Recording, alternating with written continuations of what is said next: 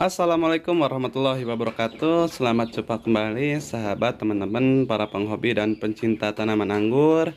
Gimana nih kabarnya pada sehat? Semoga sehat selalu ya. Dan semoga dipermudahkan setiap urusannya dan dilancarkan setiap rezekinya. Amin ya rabbal alamin.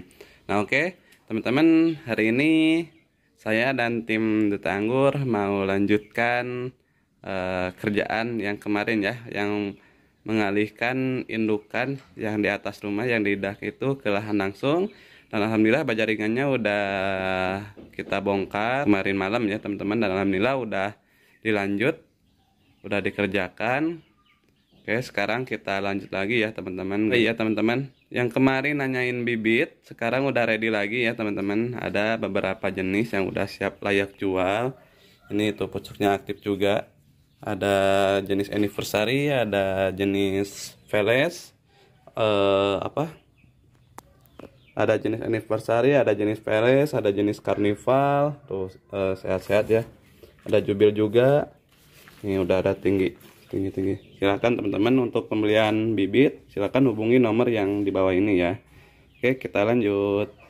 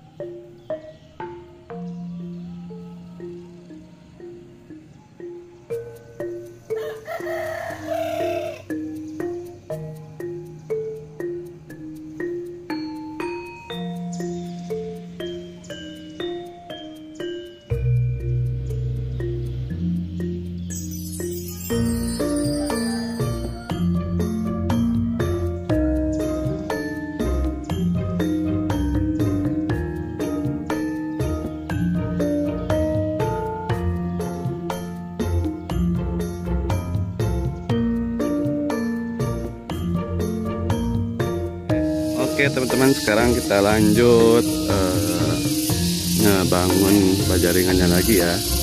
Kemarin udah beres dibongkar yang di atas dan saya nggak bisa bantu hari ini sambil jaga ini. Ada cantik. Nih itu dah. Jadi mandor bu. Nih kita sambil lihat ya. Sambil ngasuh dan sambil lihat pekerjaan apa apa apa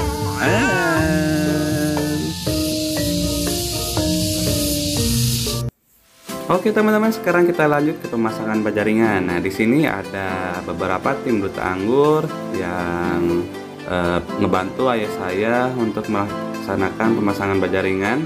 Antara lain ada Dodi, ada Sandi, dan tentunya ada uh, bapak saya ya teman-teman.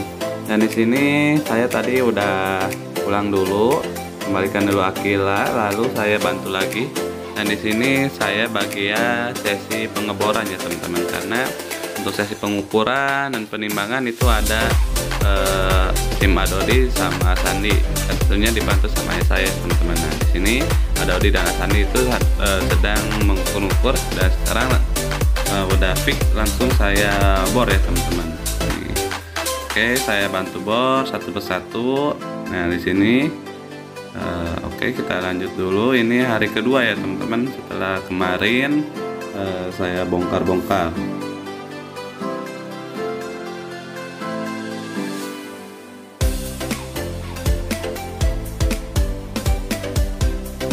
Oke kita lanjut lagi teman-teman ya dan sekarang ada mangkakan nih bantuin nih dari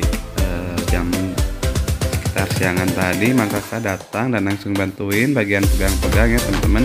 Seperti biasa saya lanjut uh, sesi pengeboran. Untuk yang pegang-pegang tiang dan pegang bajaringan ada Asani sama Dodi. Dan pengukurannya dibantu juga sama ayah saya teman-teman. Oke kita lanjut lagi uh, sampai uh, beres ya teman-teman. Jadi enaknya di sini itu komplit ya ada tim konstruksi juga. Jadi nggak perlu menyewa tim konstruksi khusus. Alhamdulillah ya saya juga jago konstruksi. Apalagi ada teman-teman juga. Dan saya ikut belajar juga ya teman-teman untuk membangun konstruksi untuk bajaringan nah oke lanjut lagi di sini. Kita pasang-pasang lagi. Pasang sana sini bor sana sini. Uh, ukur lagi pasang lagi ukur lagi pasang lagi ya teman-teman nah oke okay, hari ini cukup untuk sampai sore dulu ya teman-teman. Kita istirahat dulu untuk yang lainnya. Oke teman-teman, eh, tadi Adori sama Sandi itu pulang dulu ya teman-teman karena udah asar. Dan saya sama ya saya lanjut aja. Eh, mumpung belum hujan ya teman-teman karena di sini sore-sore biasanya hujan, alhamdulillah sore ini nggak hujan ya teman-teman. Dan di sini saya dibantu sama Pak Udung juga teman-teman. Oke lanjut saya pengukuran karena ini pingin cepet beres juga ya. Mungkin sekarang nggak bisa sampai finish karena jaringannya juga kurang ya teman-teman oke kita lanjut besok ya Oke teman-teman sekarang kita lanjut lagi dan saya lupa tadi ini konstruksinya saya ganti lagi ya desainnya. Tadinya kalau di atas itu cuman disoronoikan ya teman-teman. Uh, nggak dibikin kayak rumah gini. Kalau ini ketika dipindah ke lahan langsung saya bikin kayak GH atau kayak rumah ya teman-teman. Dan lebarnya pun kita tambah yang tadinya cuma 4,5 meter kita tambah jadi 7 meter ya teman-teman. Dan lebarnya pun kita tambah juga jadi lebih luas. Nah, otomatis ini bajaringannya juga bakal kurang teman-teman. Dan kita memanfaatkan dulu adanya bajaringan yang di atas kalau kurang nanti kita tinggal tambah lagi ya teman-teman. Oke semoga nanti pertumbuhannya bisa lebih maksimal dan lebih bagus ya teman-teman. Karena ini perakarannya bisa lebih leluasa.